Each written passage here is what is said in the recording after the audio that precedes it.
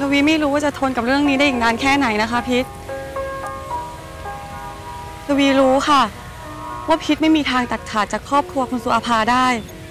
เพราะว่าพ่อของเธอน่ะ มีบุญคุณกับพิษมาก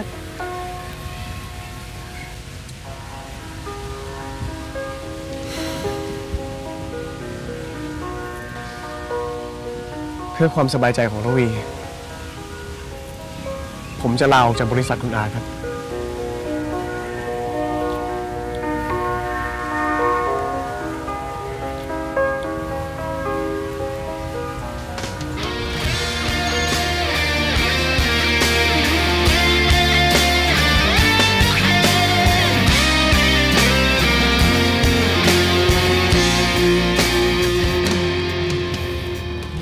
เป็นเพราะยายแต่ใช่ไหม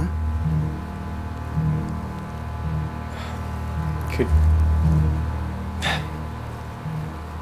ผมกับคุณตาเราเข้ากันไม่ได้ครับ ผมก็เลยมาพิจารณาตัวเอง เพื่อความสบายใจของทุกฝ่าย เลิกเรียกยายแต่ว่าคุณสักทีเถอะไปยกย่องมันทำไมเหรอเคยเรียกยังไงก็เรียกอย่างนั้น โอ้ยอายุมันก็น้อยกว่าเราอีกนะ ไม่ดีมั้งครับคุณอา ให้ผมเรียกแบบนั้นให้ติดปากดีกว่าครับ แสดงว่ายังถือสายยายแต่อยู่สิเนี่ยอ่านี่ คิดอย่างนั้นอะมันเหนื่อยเปล่านะ เพราะยายแต่นิสัยไม่ดีตั้งหลายอย่าง ขนาดอายยังปวดหัวกับมันเลย ผมตัดสินใจแล้วครับ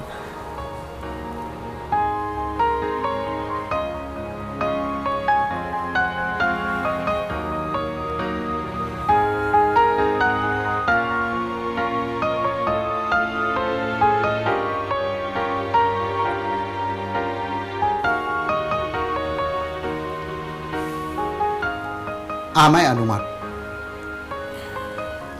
แต่คุณอาครับ นี่เป็นคำสั่ง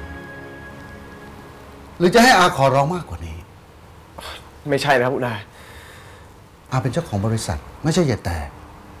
ยายแต่ไม่มีอำนาจจะมาบังคับให้พิษลาออก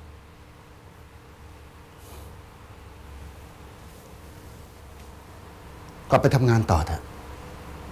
งานที่นี่ยังรอให้เธอทำอีกมากนะ